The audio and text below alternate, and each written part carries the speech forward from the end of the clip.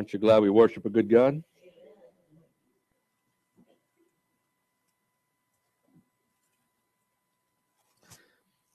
We started a series several weeks ago about uh, reaching the lost,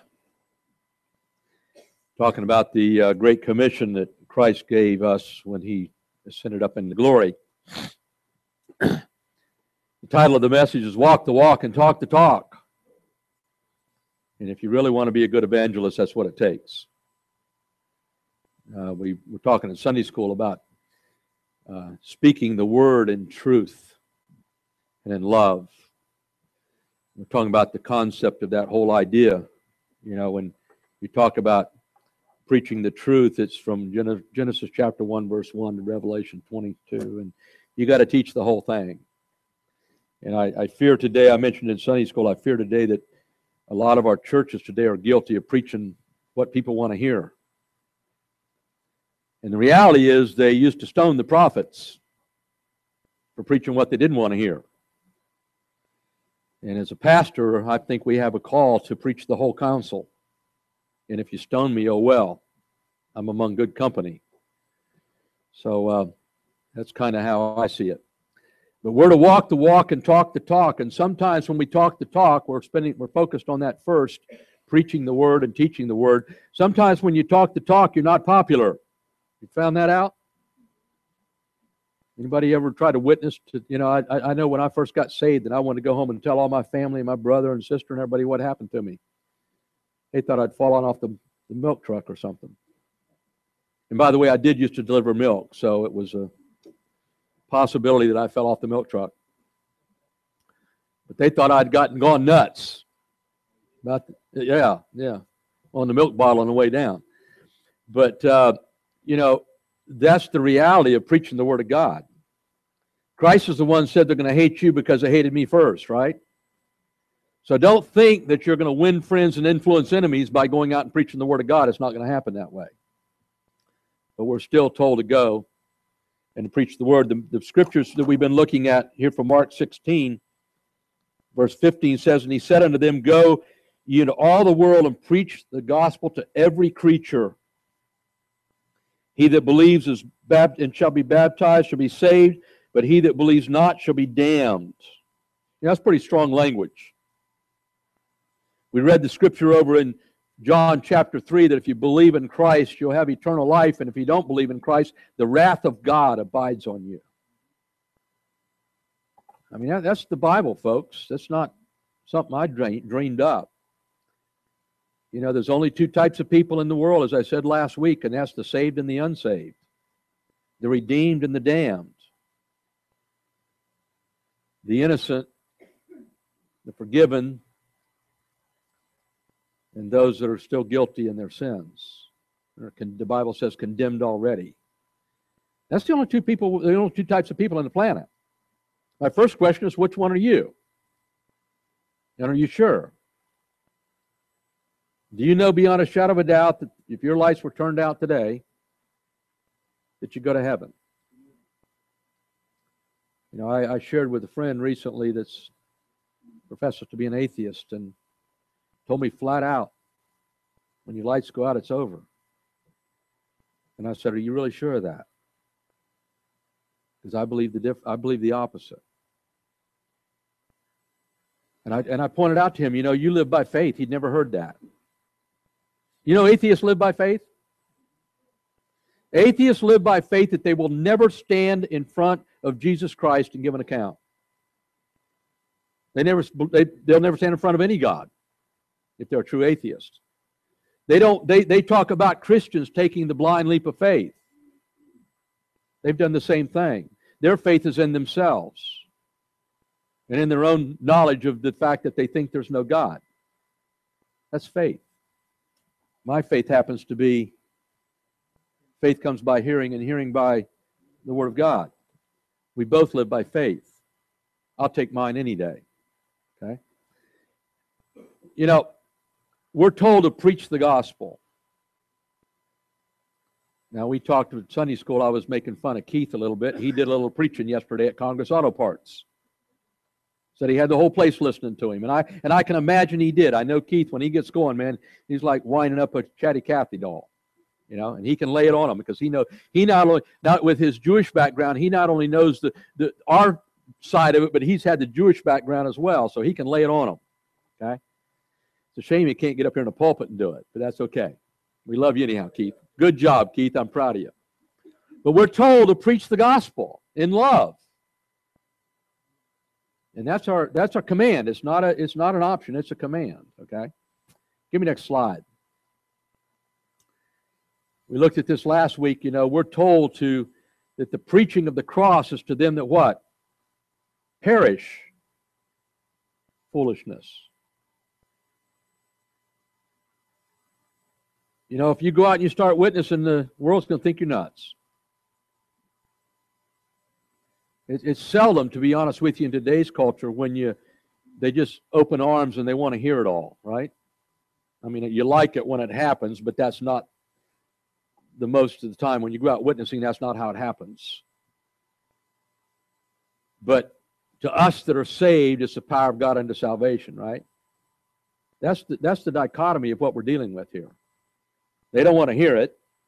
They're resistant most of the time. But we've got the answers and we're told to go give it to them. Give them the answers. The answers to life, we've got them. We've got the answers to eternal life. We've got the answers. How dare us keep it to ourselves? We've got the good news, and we're to go to preach the cross of Christ to those in need. Actually, as I say here, those that need it the most. Those are the ones that we need to go to first. Give me next slide. Fanny Crosby, one of my famous hymn, uh, favorite hymn writers, wrote this Rescuing the Perishing is the title of the hymn. It says, Rescue the perishing, care for the dying, snatch them in pity from sin and the grave. Now think about these words as we're reading down through them, okay? Weep over the erring ones, lift up the fallen Tell them of Jesus, the mighty to save. Though they are slighting him, still he is waiting, waiting the penitent child to receive. Plead with them earnestly, plead with them gently. He will forgive if only believe, if they'll only believe. Down in the human heart, crushed by the tempter, feelings buried that grace can restore, touched by a loving heart, wakened by kindness, chords that are broken will vibrate once more. Rescue the perishing. Duty demands it.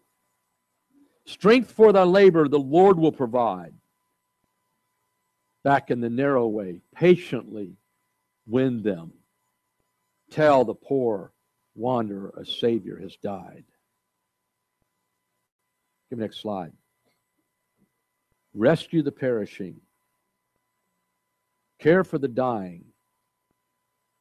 Jesus is merciful. Jesus will save. Now, I'm going to share with you a little bit of my personal opinion for whatever it's worth. I don't like to do it too often. But this to me is real music. The theology of Fanny Crosby hymns are second to none, except maybe Martin Luther himself. The Mighty Fortress, right? Doesn't get any better than that. But the truth of what we just read, a hymn that we tend to today sort of putting on the shelf of, with all most of the traditional hymns is the message of the evangelist. I mean, you know, I, I we could just read that three or four times today and go home. I don't need to do a whole lot of preaching past that. Now, we're going to focus on this in coming weeks. Of course, I realize Carol just reminded me that Easter is what, five weeks away? So I got to get on my Easter sermons. Uh, but we're going to sidetrack this maybe for a few weeks, but we'll get back to this after Easter. I always like to preach about four or five sermons during the Easter break. But this hit me as I was looking at this uh, hymn this week and putting it in my sermon. This is a lady that got it. A blind woman. Could have lived her whole life bitter against God and against Christ. Because at five years old, she was made blind by misdiagnosis of a doctor. She spent the rest of her life in darkness. But this is the woman that got it. Wrote over 2,000 hymns. Can you imagine that? This hymn has the theology of what we're talking about when we talk about evangelism. Give me next slide. Rescue the perishing. I picked up on that word, perishing. It's interesting in the Greek. It's the idea to destroy utterly. Now, for you Bible student or uh, uh, Greek students, it's in the middle voice. And what that means is the subject, which is the person that's perishing, is actively involved. Now, I thought about that. How does that apply?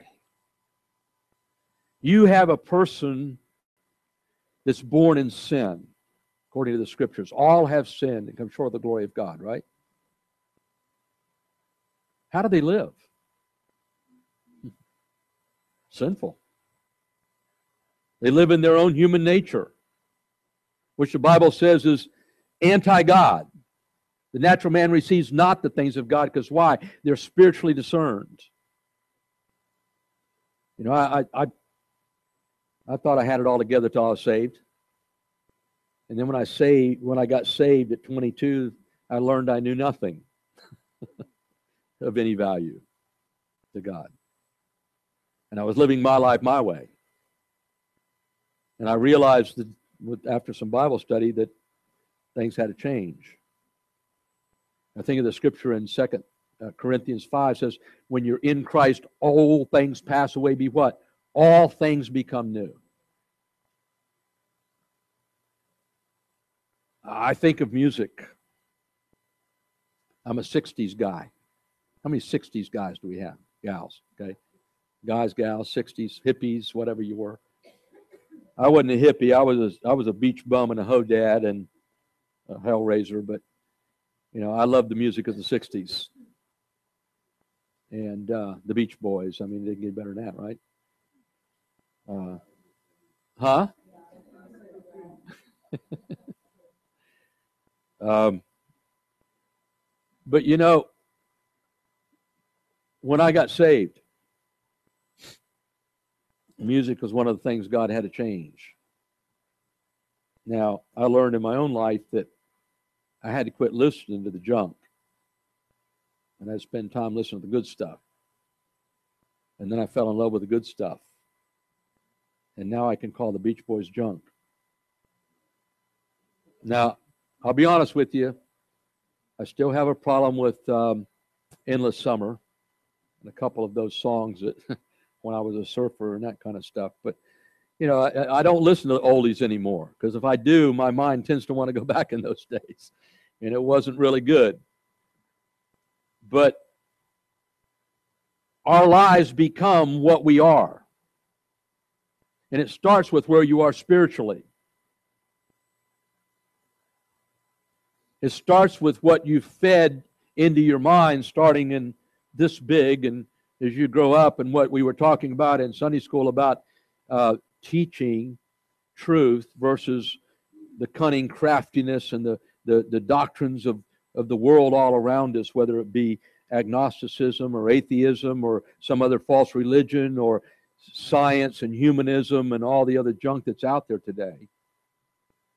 And we become a product of pretty much what we put in our minds and we end up, you know, practicing in our lives. And the Bible says that we're to be a child of God, as a believer, we're to have the mind of Christ. So that means we got to absorb this so then we can teach it to others. And we have to understand when someone is perishing, when someone is unsaved, we really can't expect anything but this. They're acting out where they are. They're acting out what they understand. They're acting out what their parents have taught them, or they've learned in school, or they're learning from their peers, or they're trying to experiment themselves and have come up with their own ideas of, of what the world is about. And we really can't expect anything else from them. And then we're told in that environment, knowing they're perishing and they're participating in their own perishing, we're told to go teach the Word of God to them. That's the job we're given. When we're told to go into the world and preach the gospel to every living creature, that's our task. We really can't expect them right out front. Oh man, that sounds wonderful. Count me in.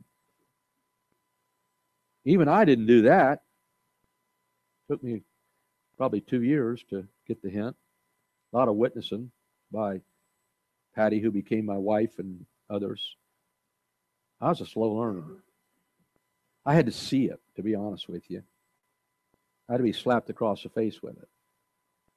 Thank God I finally said, Count me in. But all of us, I'm sure, could get up here this morning and testify. Or if we were to able to take the time and each of us give our personal testimony about how we got saved, probably 90, 100 people here this morning, we'd have 100 different ways that we got there, right? Because no two salvations are the same. No two of us are the same. And how God reached us is different. I love to hear personal testimonies. You know, excites me. And, I, and I'm going to tell you the first and most uh, dynamic witness that you have to the unsaved is your own personal testimony. When I teach evangelism, I, I like to tell you that, first of all, you need a, a, a one and a half to two minute witness of how you got saved. You also need about a 20 minute witness about how you got saved. And you ought to you ought to think that through in your own life, and you ought to have that right here. So at any minute, standing in Congress Auto Parts, you can give a witness about how you got saved. Or if you're out to lunch for an hour or so with a friend that needs to hear about Jesus, you can give your 20 minute testimony. Lay some scriptures on them. Tell them a little more what God's doing in your life and give them a 20 minute witness. But as believers, every one of us ought to have that right at our fingertips, right at the, the tip of our tongue. We ought to be able to give that witness at any time how we got saved and what God's doing in our lives. Because God's, if, if you do that, trust me, God will give you opportunities to use it. Okay? Give me next slide. they believe not. We read this through John this morning. I just want to focus on verse 36. He that believes on the Son has what? Amen? I think that's a wave. Let's start right here and let's do our wave. Okay, and let's come back over here. Okay. Hey, we talk about eternal life around here. It's a wave time, right? I, for our visitors, I apologize. I told them we can do this at football games. We can do it in church. So I gave them permission to do the wave in church, all right? Uh, those that believe we have eternal life. And I, I'm like you. Thank you, Lord. Right?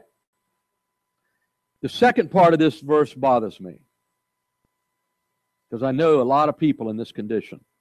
Some of them I love very dearly.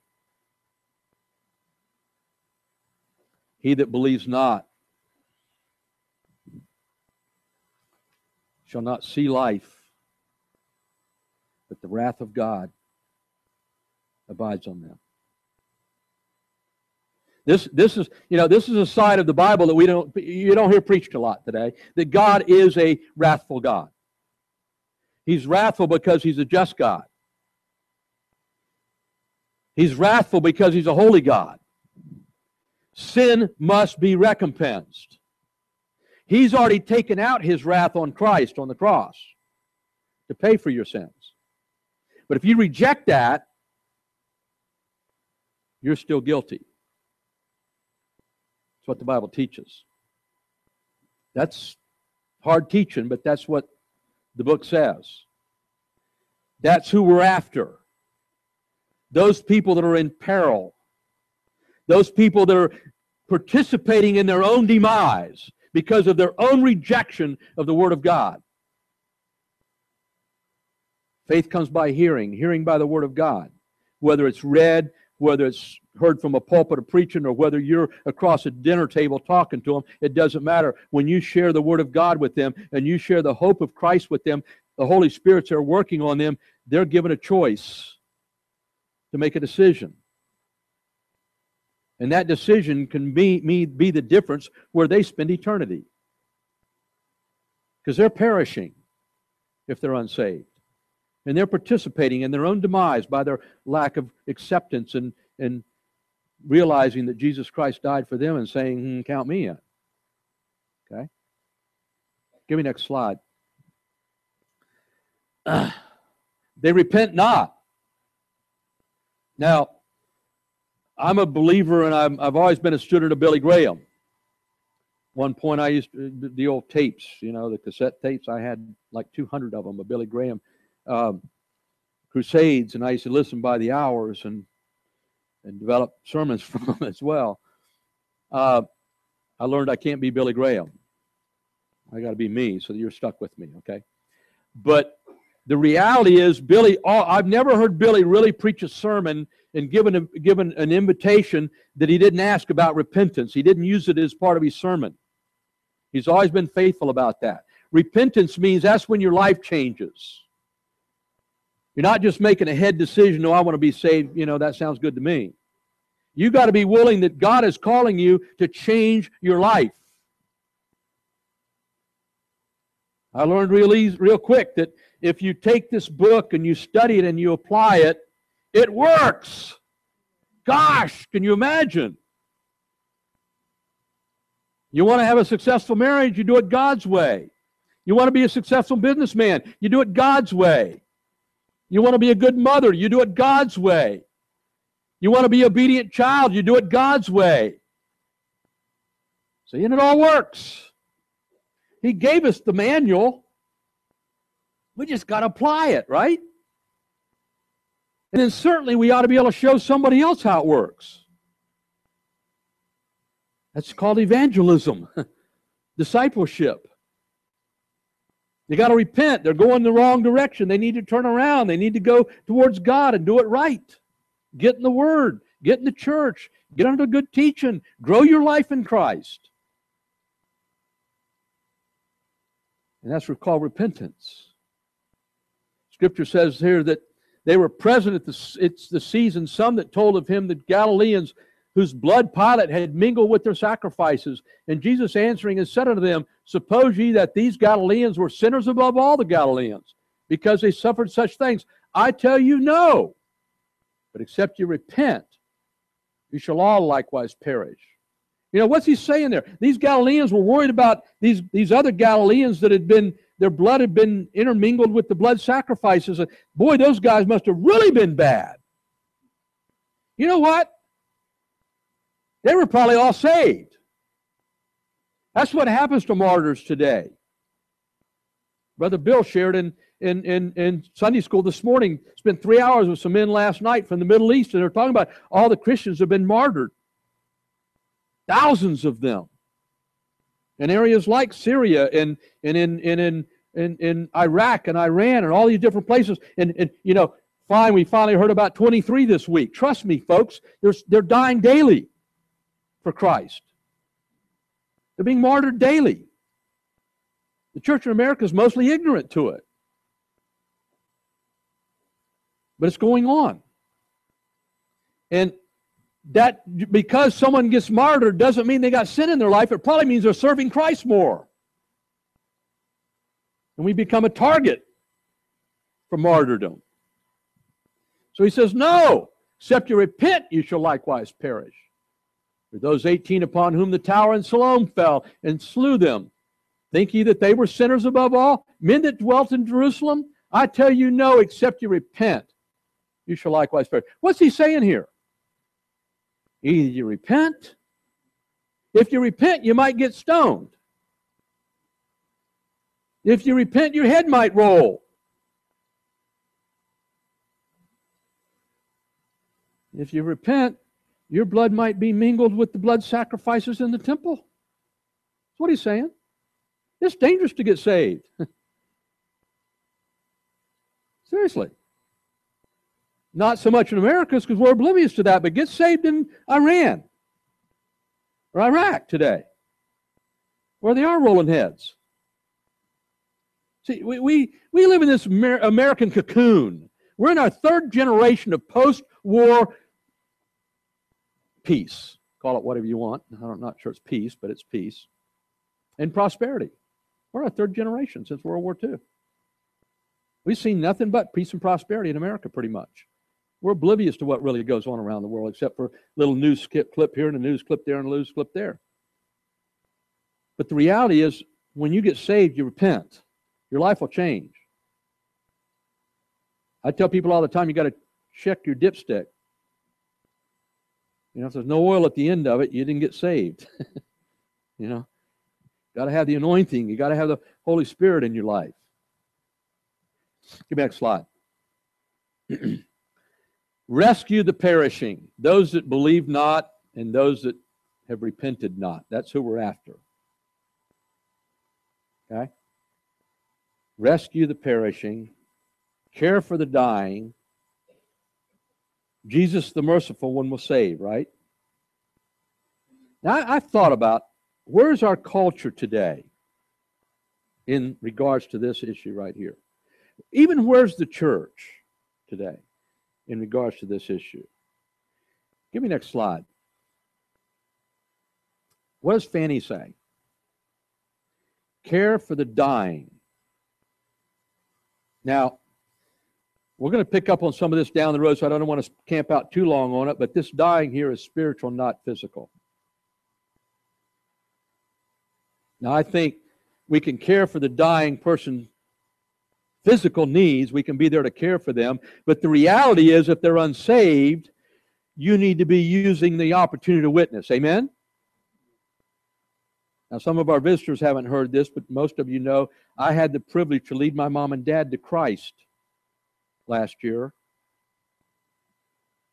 Dad, 91, three weeks before he went to see Jesus.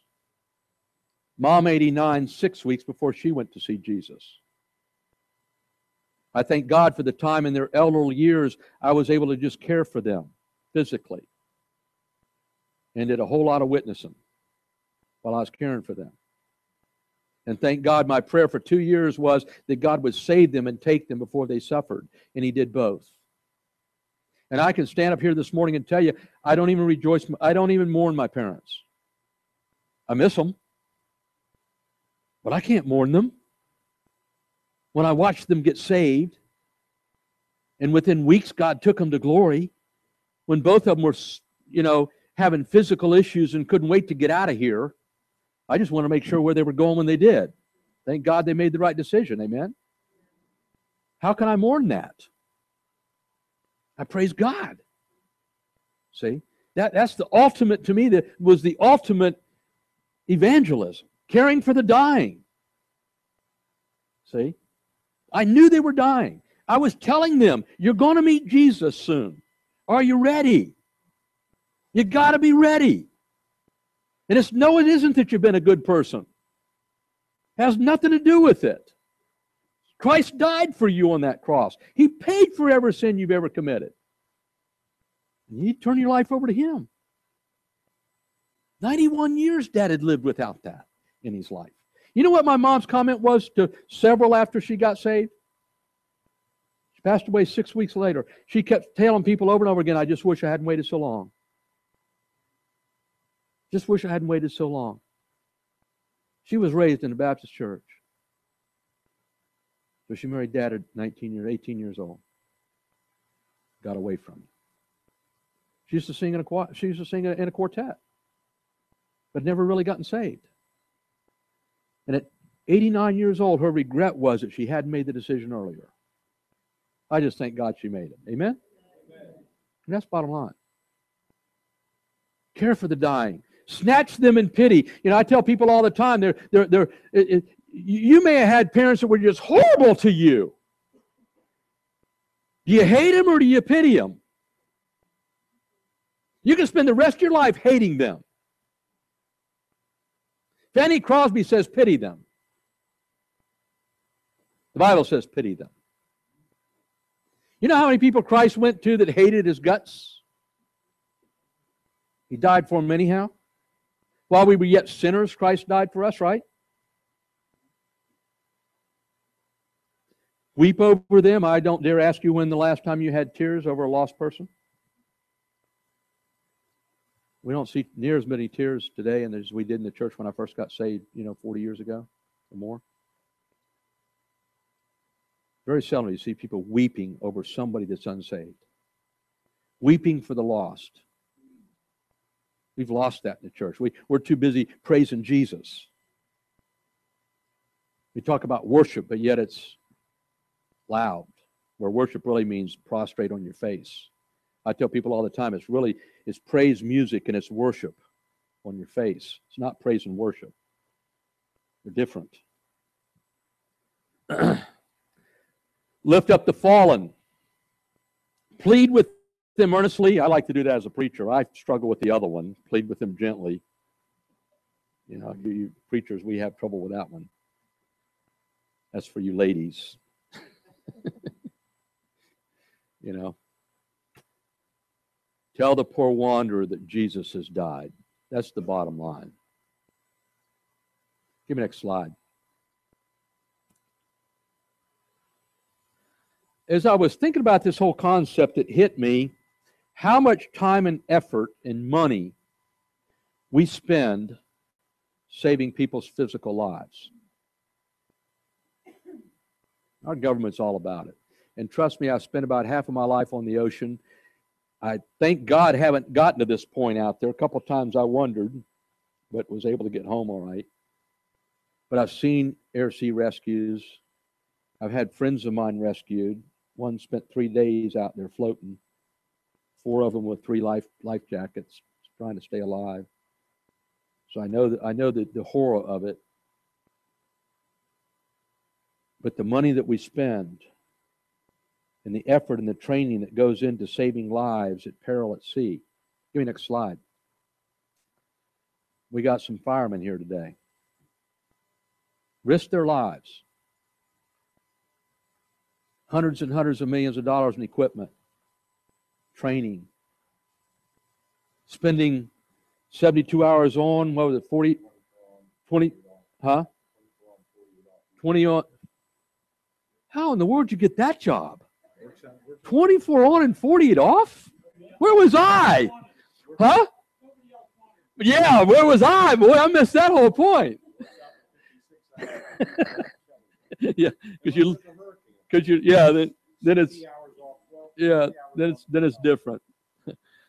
but again, an area of rescue and safety for cult for people, and in our culture and, and as taxpayers, we spend hundreds and hundreds of millions of dollars for first responders.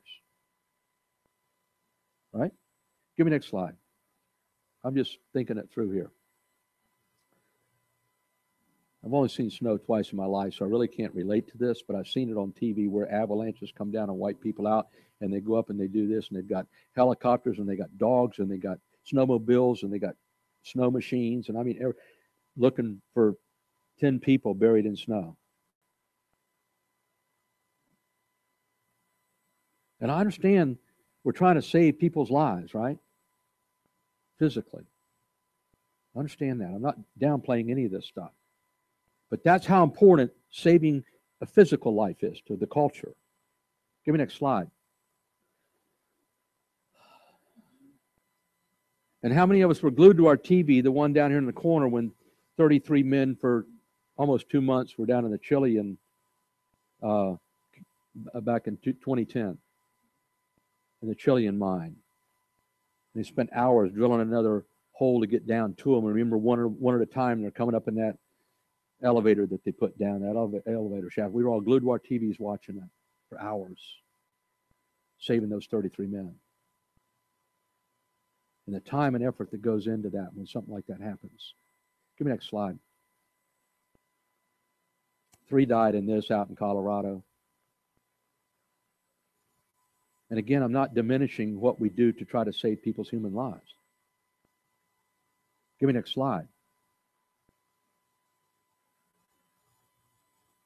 One of the malefactors which were hanging railed on him, saying, If you be the Christ, save thyself and us. But the other answered, rebuking him, saying, Do not fear, God sees you are in the same condemnation, and we indeed justly, for we receive the due reward of our deeds, but this man has done nothing amiss. And he said unto Jesus, Lord, remember me when you come into your kingdom. And Jesus said unto him, Verily, verily, I say unto you, today shall you be with me in paradise. That's the ultimate rescue. Give me next slide. Lord, remember me. How much time and effort do we put in? And I ask you, which one's more important? Saving a physical life or saving someone for eternity? Which is more important? Now, we really can't expect the culture to spend a lot of time and money on this. Okay? We really can't because they're unsaved. They're going in the other direction. They're all about saving the physical. So we, we can't expect fire trucks to come in here today or helicopters to come in here today and preach the gospel. Can't expect that. But I ask you, which is more important? Somebody's eternal existence or somebody's physical life? Really? Give me next slide. Get out of here. Do you know who needs to be rescued? Yes, sir. Who do you know that needs to be rescued today? Do you have a list of three or four that you're witnessing to on a regular basis? Or are you taking the time to call them up and take them out for coffee or, or you know, invite them over to your house for dinner, doing something to, to open the door to witness to them? Are you? Or, you? or you're on your knees daily praying for them? That God had used you or somebody else to come into their life and witness with them? Are you burdened for them? As Fanny Crosby says, do you weep over them? See? That's our call, folks. That's why God's got us here. Go into the world and preach the gospel to every living creature, baptizing them in the name of the Father and the Son and the Holy Spirit, and then teaching them to observe all things that He's taught us. And that's our command.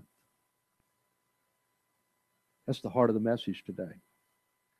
My invitation is twofold today. You may be here and you don't know Christ. It's okay. I've been there. The Bible says today is a day of salvation.